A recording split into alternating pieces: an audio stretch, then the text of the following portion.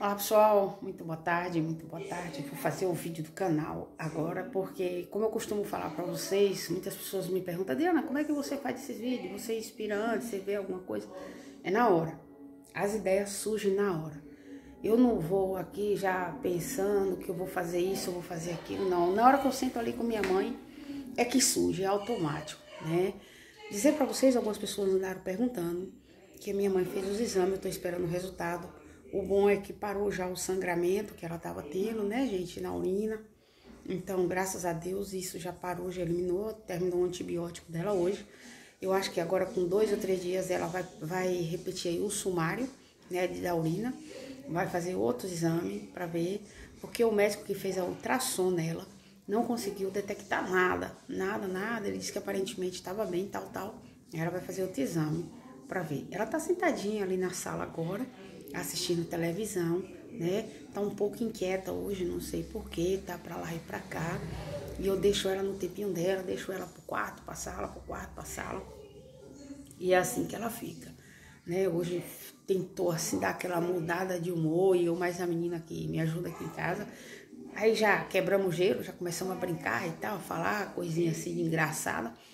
Daí ela já voltou ao normal dela. Mas vamos lá, vamos lá ver o que, é que ela tá fazendo Vamos fazer um videozinho aí com vocês, o videozinho da tarde tão esperado, né? Que as pessoas têm, gostam sempre.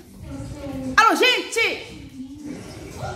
Eu vou... Hã? Eu tô o quê? Deixa eu ligar aqui a televisão um pouquinho. Por quê?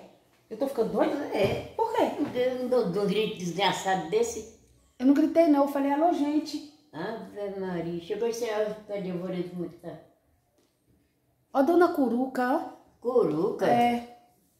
Ô, oh, boca de sacola, fala mais baixo, que aqui ninguém é surdo. Obrigada, dona Curuca. É, dona Curuca. Ela tá certa. A senhora gostou, foi? Adorei. E foi? Pessoal, tem muita gente aqui perguntando como é que tá minha mãe, como é que tá a saúde da minha mãe. Eu não vou falar nada, porque quem tem, quem sente as coisas é ela. Eu vou deixar que ela fala pra vocês o que é que ela eu tá. Eu tô boa, tô quase boa, graças a Deus, ó. Tá quase boa? Olha essa porra, esse cabelo branco. Tá lindo. O povo quer saber como é que a senhora tá de saúde.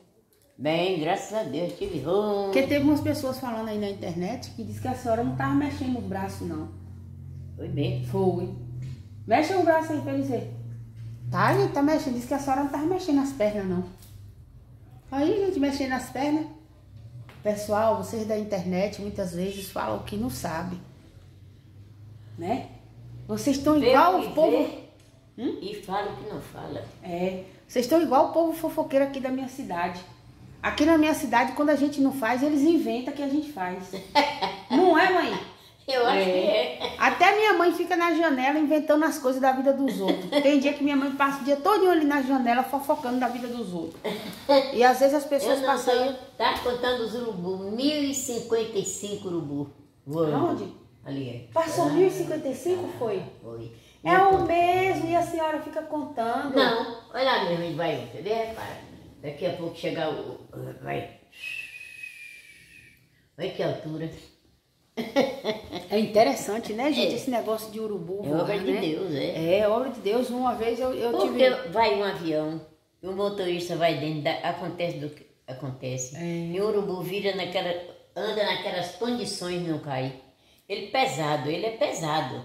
Uma vez a Antero matou um urubu, eu reitei com ele, danei com Pai ele. matou um, foi? Foi. Pra quê? Sei lá, ia passando, não sei como diabo foi, ele meteu o revólver e derrubou o povo do urubu. Ei, mas eu me danei, nem dormi mais ele essa noite. Não dormiu mais ele só por causa do urubu? Foi. Tadinho, o bichinho ficou sem namorar por causa de um urubu? Ô, oh, Jesus. E pode namorar. Fazendo urubu catando, coitadinho, comida, resto de coisa. Pessoal, deixa eu contar. Minha mãe falou aqui para vocês do urubu e agora eu lembrei, né? Eu lembrei que eu fui a maior criadora de urubu aqui do estado da Bahia. Nós tínhamos, minha mãe tinha um terreno ali perto da ponte, né? Era um terreno grande e lá eu coloquei lá um barracão muito grande e comecei a criar muitos urubus. Então, eu tinha vários funcionários. Nós, a gente, debaixo da asa dele, a gente coloca um motor. Porque se... Quanta mentira! Nunca pensei na vida de ter uma filha mentirosa. É por isso que os mineirinhos chamam ela de mentirosa. Os mineirinhos chamam é? ah, se eu pego esses mineiros. Ah, você vai fazer o quê? Os mineiros ricos pra porra? Oxe, eu, eu pego um por um com minha bolsinha azul. Ai, ai. Até os pequenininhos, a Diana é mentirosa. Eles falam é. Ah, meu Deus do céu, já não tô gostando disso. Aí, gente, então eu tinha vários funcionários nesse barracão. A gente pegava o urubu, né? E a gente coloca um motorzinho debaixo da asa dele. Não é, mãe? Aqui, ó. Aqui, mãe é prova viva aqui.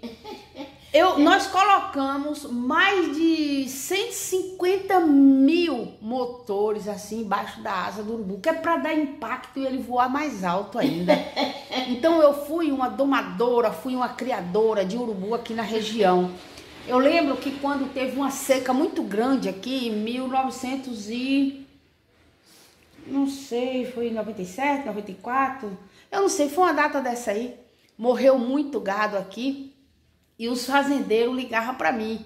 Adriana, tem como você soltar aí da, né, do, do, do, do galpão os urubus que você cria aí? Eu soltava mais de 300 mil urubu para eles irem para a fazenda comer essas, essas vacas, porque morreu muito gado aqui na seca. Não foi, mãe? Não, mentira.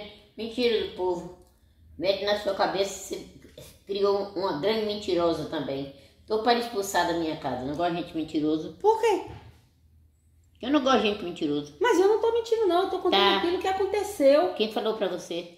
O negócio do urubu não era verdade? Não. Eu não era criadora de urubu aqui em Itaju? Eu nunca vi, não. Só se era escondido. Não, é tanto, gente, que o povo chamava eu Adriana do Urubu. Hum. É, aí falava assim, é Adriana, a filha de Dona Naí do Urubu. Falava bem assim.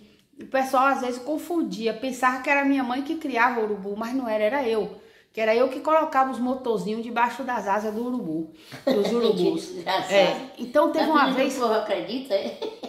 teve uma vez que um amigo meu ele matou um urubu e eu não sabia. Uhum. Aí falou assim: o urubu esse que ele matou pesou assim uns 35 quilos. Aí ele falou assim: Adriana, eu queria que você fosse lá na minha casa hoje, vai chegar o meu padrinho, e eu queria que você conhecesse meu padrinho, ele é muito engraçado, ele conta muitas histórias. Vai lá comer uma galinha com nós. E eu fui. Quando chegou lá, que eu sentei na mesa, ele trouxe o almoço e eu vi, né? Botou o negócio, eu achei a carne, não tava parecendo com de frango, não, tava meio escura. Só que eu fui muito inteligente. Debaixo do couro, assim, e da asa, eu passava o fio por ali, pela, pela asa, para botar lá no motor. Quando eu peguei uma asa daquela, eu botei no meu prato, Aí que eu parti, tinha um pedaço do fio que eu coloquei. Ah, moço. Eu saí assim fora, peguei minha bolsinha azul. Quando ele viu eu pegando minha bolsinha azul, esparramou gente por tudo quanto é canto. Não foi, mãe? Eu não vi, não. Diabo, tanta mentira. Eu tô cheia. Esparramou gente por tudo quanto é canto lá na casa dele. Eu falei, mas rapaz, você matou o urubu que eu criei, rapaz. O urubu meu que é de fazer a limpeza na, na na cidade. É, menina, eu não fiquei em mim, não. Eu, ó, eu quase mato o cara. Quase. Se não fosse um amigo meu, chegou, tomou a bolsinha azul da minha mão e guardou. Não foi, mãe? Aí. Por que você diz não foi? Eu vou dizer foi. Ele dizer curviteira. Eles não falam não, eles Fala, acreditam na senhora. Não acredita não. Eu não acredito em gente mentirosa. Odeio gente mentirosa. E eu sou mentirosa? Ah, tá em primeiro lugar. E vamos que vamos, povo. Beijo um grande carinhoso para vocês. Uma semana abençoada para todos nós. Que Deus continue intercedendo pela saúde de todos. Beijo grande.